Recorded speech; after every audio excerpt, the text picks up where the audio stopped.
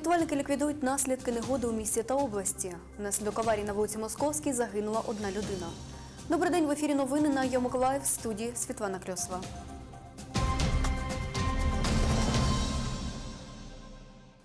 Миколаївські рятувальники ліквідують наслідки негоди у місті та області. Про це розповів речник головного управління Державної служби з надзвичайних ситуацій в Миколаївській області Артем Вагін.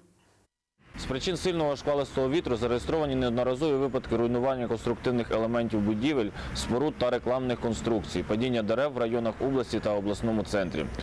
Лише по місту Миколаєву зафіксовано більше 250 випадків падіння дерев на проїзну частину доріг, на автомобілі, будівлі і лінії електропередач. Пошкоджено понтонний пішохідний міст та понтонний Аляутський міст через річку Інгул. Для ліквідації наслідків ускладнення погодних умов підрозділи головного управління ДСНС України у Миколаївській області Залучались 54 рази на проведення аварійно-відновлюваних та рятувальних робіт. Проведено спилювання 71 дерева та деблоковано 8 автомобілів. Всього було залучено 19 одиниць техніки та 73 чоловіка особового складу. Для проведення аварійно-відновлювальних робіт на території області задіювались аварійні бригади Миколаївобленерго та Миколаївгаз. На розі проспекту Центрального і вулиці Московської внаслідок дорожньо-транспортної пригоди травмувались чотири людини. Одна померла. Це відео з камери спостереження, яка встановлена на фасаді будівлі по вулиці Московській. Маршрутка рухалась вулицею Московською і почала перетинати перехрестя на проспекті Центральному. У цей момент в лівий бік в'їхав Range Rover. Від удару автобус перевернувся. Range Rover виїхав з-під неї, проїхав далі і зупинився. Світлофори в цей час працювали в режимі миготливого жовтого. Євгеній Абламський став свідком дорожньо-транспортної пригоди. Коли я йшов, е, то побачив, як е, машина вдарила е, дуже сильно маршрутку і відкинула на обочину. Вони теж попали в лікарню з невеликими ушкодженнями. Ну, слава, дякувати Богу, що спрацювала подушка безпеки. Скорые стояли, и, ноги его поставили. Я стоял там дальше, а потом, говорит, один троллейбус пропустили. Мол, давай, здесь ж 100 начальников было, давай. Я сюда подъехал, а тот кричит, не иди, стой. Это я стою здесь. Травмованих доставили до лікарні швидкої медичної допомоги. Їх стан середньої важкості. Четверо травмованих, одна померла. Ще в швидкої допомоги. Слідчі відділу розслідування злочинів у сфері транспорту слідчого управління Миколаївського главку поліцію за процесуального керівництва обласної прокуратури затримали водія Ренч Ровер у порядку статті 208 Кримінального процесуального кодексу України. Подія внесена до єдиного реєстру досудових розслідувань за ознаками частини 2 статті 286 Кримінального кодексу України.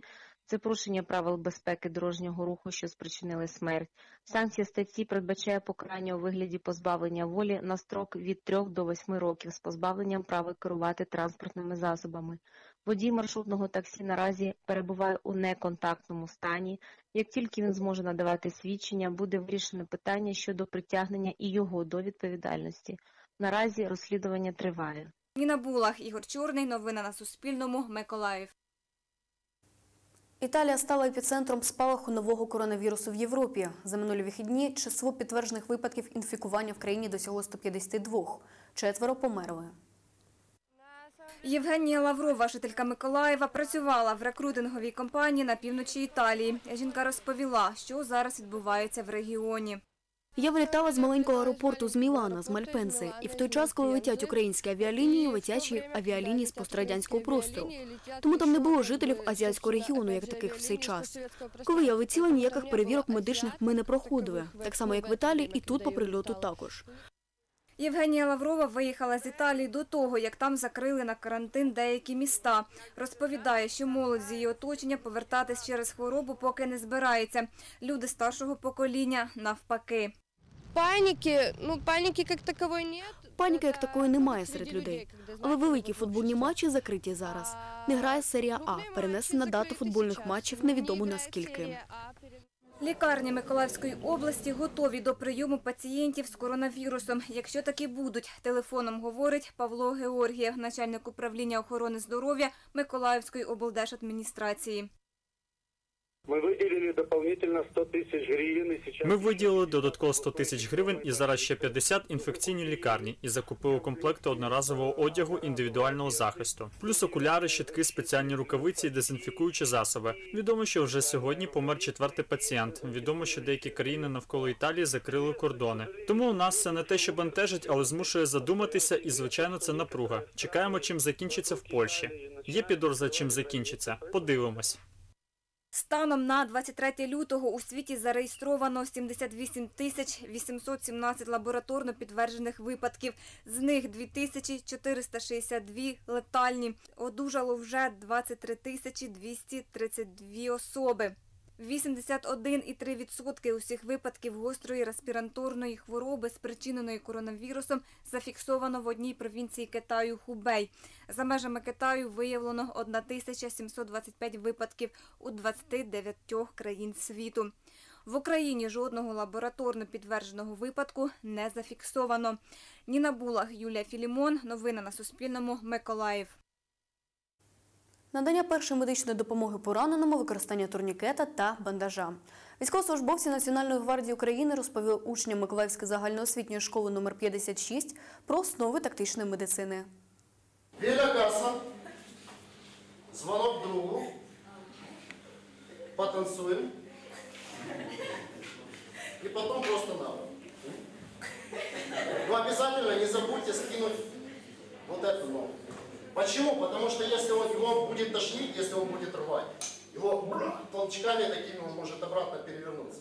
Если вы сделаете так, он уже никуда не перевернется. На заході учні 10-11 класів. 17-річний Дмитро Дячков зіграв роль травмованого. Говорить, тепер знає, як надавати першу допомогу пораненому. Я б слідував порадам, які були. Це завжди дивись, дивитися по сторонам, де як аналізувати ситуацію, розмовляти з людиною, яка отримала поранення, і надати першу допомогу. Накласти жут, якщо є така можливість, і перевернути людину на бік, щоб в неї не запав язик і вона не задихнулася.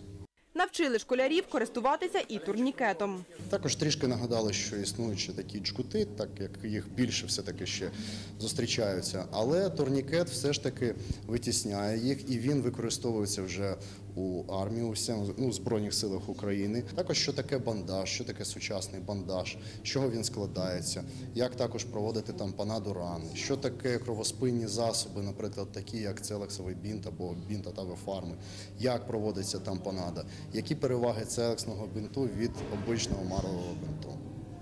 Також допомогли їм, ну так скажемо, продіагностувати, яке поранення, е, пояснити, що таке кровотеча, от, і як себе поводити при цьому, як поводити себе з пораненим.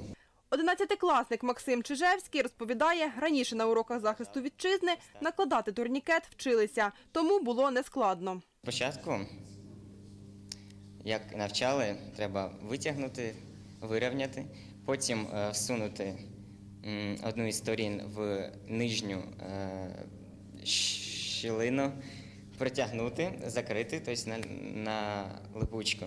Вчитель предмету захист вітчизни Вадим Сінельник говорить, такі заходи допомагають учням відпрацювати теоретичні знання на практиці.